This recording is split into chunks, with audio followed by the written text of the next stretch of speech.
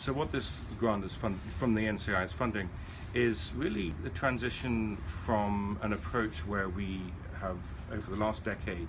been targeting single molecules in cancer. So for diseases like chronic myelogenous leukemia, lung cancer, and melanoma, individual drugs have been developed that can hit one particular target. And we've realized that on their own, those often don't work, and what's needed is combinations of drugs. And in order to understand which combinations of drugs, you really need to understand the system rather than the individual molecules. And this grant is really about trying to combine the uh, understanding of the molecules with the understanding of the system so that we can appreciate how everything fits together and how the, the cell is controlled through inter, intricate circuitry and really, really figuring out how